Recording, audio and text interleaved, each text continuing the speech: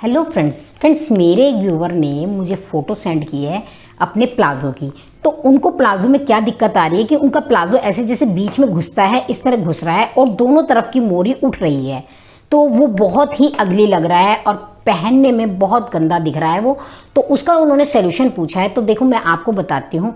पहली तो बात यह है कि जब भी कभी आपका, वैसे देखो नॉर्मल अगर कोई मोटा है या पतला है, लेकिन उसका शरीर सुडोल है तो आपको बिल्कुल, जैसे आप सिंपल प्लाजो बनाते हैं, बिल्कुल वैसे ही बनाएँ।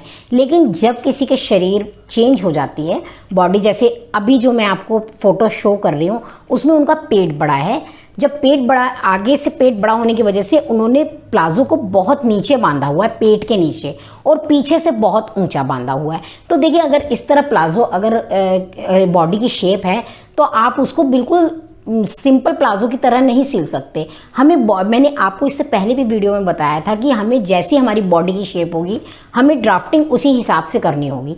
तो देखिए, अब मैं आपको दिखाती हूँ कि इसमें कहाँ पे दिक्कत है। तो बोर्ड तो अब देखिए फ्रेंड्स हम, मैं आपको अब बोर्ड पे बताती हूँ कि हम इस प्लाजो को किस तरह बनाएँगे। तो देखिए, जितनी भी आपकी लंबाई हो, आप बिल्कुल लंबाई एंकल तक रखें। बहुत लंबी इसकी लंबाई ना रखें तो आपको दिक्कत आ जाएगी।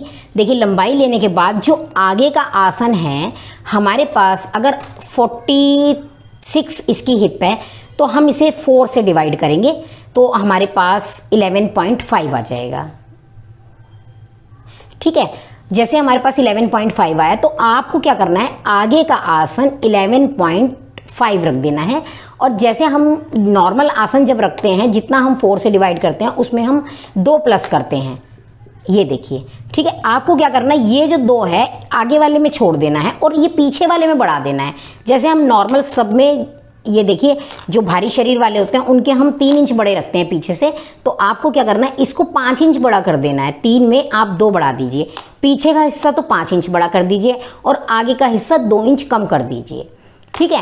और आपको जो मोरी लेनी है वो कभी भी आप जितना आपकी ये जगह आए अब ये मैंने तो आपको 46 के हिसाब से बता रही हूँ। आपका 48 भी हो सकता है 50 भी हो सकता है 52, 56 जितनी भी आपकी नाप होगी आप उसके हिसाब से लेना। ये जगह हमारे को लेनी है one by fourth plus two ये हमारे को जो लेनी है ये जगह हमें इतनी लेनी है। वन बाय फोर्थ का मतलब आप जितनी भी आपकी हिप होगी, उसे आप चार से भाग कर लेना। जो भी आपका आंसर आएगा, उसमें दो बढ़ा देना। तो जैसे साढ़े ग्यारह, साढ़े बारह, साढ़े तेरह। तो जब भी आप मोरी लेंगे, साढ़े तेरह से आप बड़ी नहीं ले सकते। अगर आप साढ़े तेरह से बड़ी लेंगे तो आपकी ये प्रॉब्लम आएगी ही आएगी। और ये जगह की जो गोलाई है, ये मैंने तीन इंच रखी है। आप चाहें तो तीन इंच रख लें, और अगर आप इस तरह की बॉडी हो तो म्यानी वाला बनाएँ तो बेटर रहता है। आपको बस इस चीज़ का ध्यान रखना है, आपकी जितनी ये जगह है, देखिए ये जगह है, आपको उतनी ही नीचे रखनी है। जरा सा भी आप, जो भी आप बड़ा करेंगे तो फिर आपको ये प्रॉब्लम आएगी। आप इस तरह प्लाजो बनाएँ, साढ़े तेरह यानी ये भी बहुत बड़ी हिप बहुत बड़ी मोरी होती है और काफ़ी अच्छा आता है। आप इससे कम तो कर सकते हैं। जब भी आपका दिल हो, आप इससे कम कर लें, लेकिन आप भूल कर भी इसको बड़ा ना करें। जैसे ही आप इसको बड़ा करेंगे और ये जगह आपकी उठने लगेगी। तो फ्रेंड्स, आप एक बार इस ट्रिक से बना के देखें। हैवी साइज़ में जिनके पेट बड़े होते हैं, ये सिर्फ़ उनके लिए, जिनके पेट भारी हैं। अगर हैवी साइज़ है, पेट भी बड़ा नहीं है, सुडोल बॉडी है तो आप जैसे बनाते हैं, मैंने मेथड बताया, उस तरह बनाएँ। ये सिर्फ़ उनके लिए है, जिनके पेट बहुत बड़े होते हैं। आप इस ट्रिक से एक बार बना के देखिए, आपका प्लाजो कभी भी ख़राब नहीं होगा।